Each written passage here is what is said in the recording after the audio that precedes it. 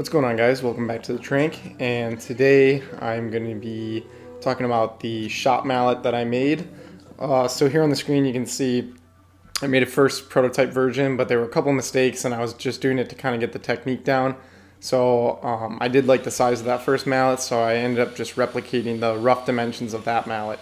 So starting off here I cut a couple pieces of crotch walnut. Those are going to be the sides of the mallet and I'm actually going to be using a technique I originally saw it on Steve Ramsey's YouTube channel, but um, he got it, I believe, out of a fine woodworking magazine from the late 90s. And it's a really great design to do a simple mallet and make it, you know, give it some weight and it, it goes together really nicely. So here I'm just planing down some of the stock, getting a flat face and a flat edge.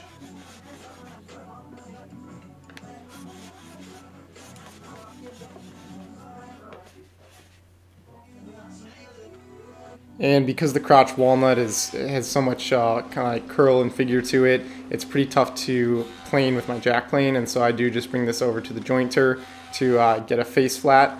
And once I have a face flat on each, I just go ahead and run it along to get a, a square edge.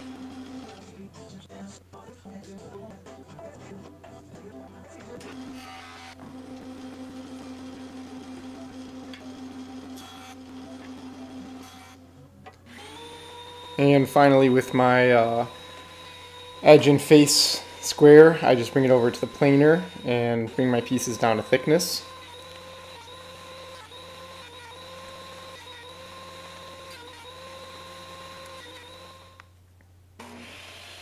And then finally I just square up the very last edge on each piece, just running it through the table saw.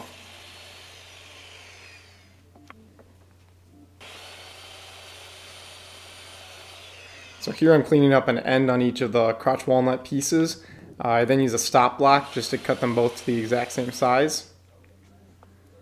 And now the two pieces that go in between the crotch walnut edges are uh, these pieces of, uh, it's not poplar, but I forget what it is.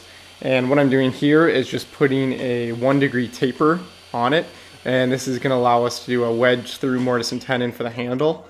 And so I found that the first time I did this, I did a two degree angle and I found that the entrance uh, exit gap was too wide compared to the inlet gap that you really couldn't wedge it and get the gap completely filled. So here I did a one degree angle and that's what I would suggest doing.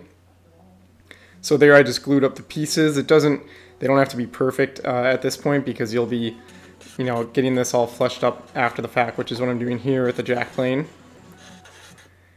And I don't even get them dead flat and square because I ended up doing the majority of the work over at the table saw, but I did have to at least flush them up to get a some sort of reference surface for the table saw.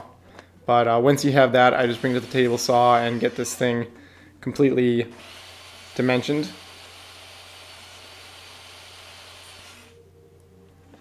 And now here I am actually ripping the stock from the handle both to thickness and to width.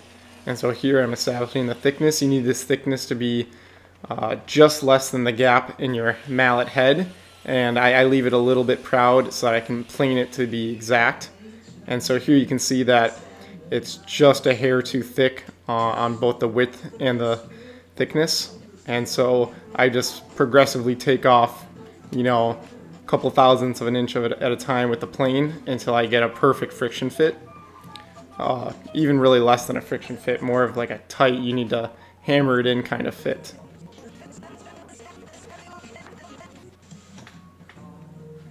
So I would just suggest taking your time with this step because it's really easy to blow past it and get a crack that's gonna, or a gap that's gonna show, uh, and that really takes away from the look. And so I really would just suggest taking off, you know, one feather at a time and then checking the fit, uh, which is what I'm doing here. And you can see right here I get it so it just just starts to push in with a bit of force and that's right where I like it for making these mallets.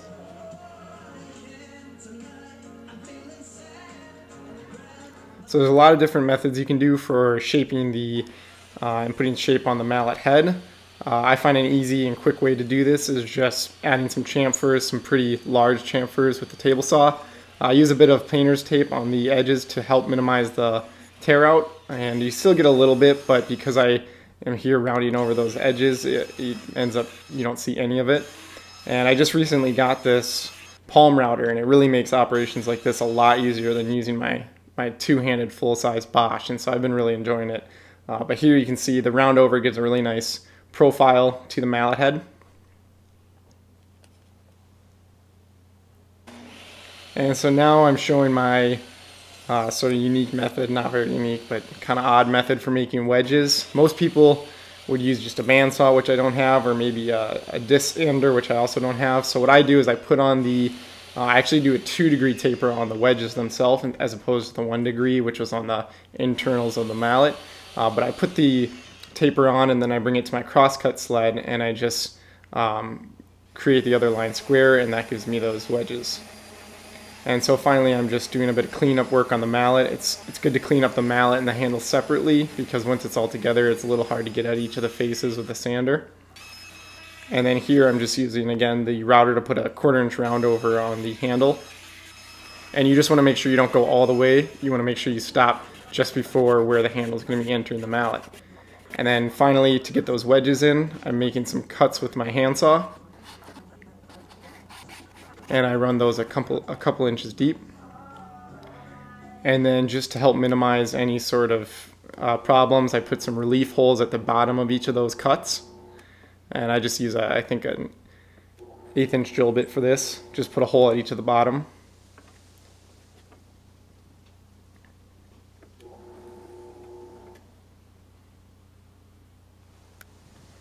And finally, you can go to the assembly of the handle with the mallet. So you don't really need much glue for this because, again, it's, it's a really tight fit and you're going to be putting those wedges in. So I just put a little bit on the inside and then I, I hammer the handle into place. And then you'll see here, and this sometimes happens, is those those gaps that you cut for the wedges sometimes close up or get a little tight when you're hammering that handle on. So I just open it up with a pocket knife uh, and then you can put those wedges in and just hammer them home. And you want to just check to make sure there's no gaps anywhere in that through uh, tenon because you want it to be completely filled. And you don't need any sort of clamps or anything, you just wait for that to dry. And once that dries, I just uh, flush up those wedges with a flushed cut saw. And then I do the actual flushing up of the top with, with again with the jack plane. And once you do this, you get a really, really aesthetically cool looking top that with those wedges adds a nice bit of color. And uh, as long as everything goes smoothly, you should get no gaps like I did here. If you stick to that one degree taper, you should be uh, good to go.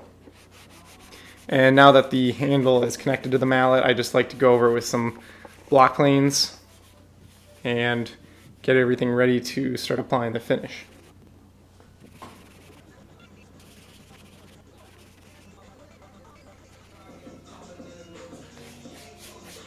And to get those rounded edges, I like to put them in the vise and then just take a strip of sandpaper and just kind of curl them along to follow the, so that you don't alter the actual uh, round over that you put on there.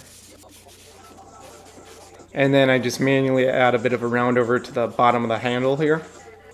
And I've, I've, you can do chamfers here too, but since I went with roundovers for the rest of this mallet, I decided to just stick with that.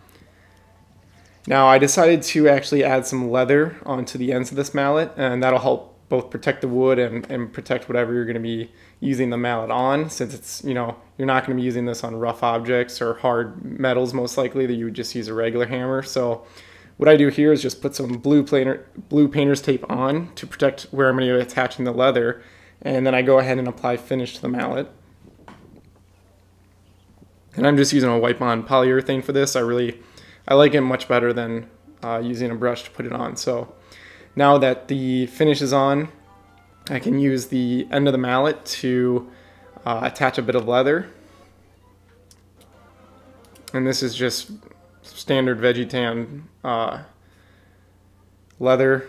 And you can use the round over in the edge of the mallet to just cut that to the exact profile. And you can see that gives it a really nice and really nice matched look. Uh, then you want to just, I burnish the edge of the leather to give it a little more of a finished look. So I just apply a little bit of water and use the side of a smooth object. Here I'm using a, a Bic lighter just to um, burnish those edges.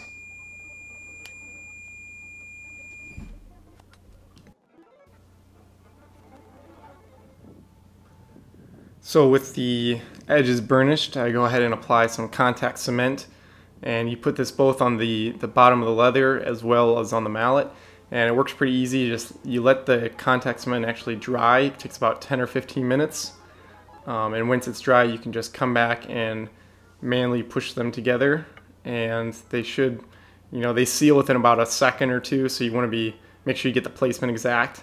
And then I just push it down to make sure it's all making contact with all the leather. And you can see that it's, it's on there and it's, it's not going anywhere.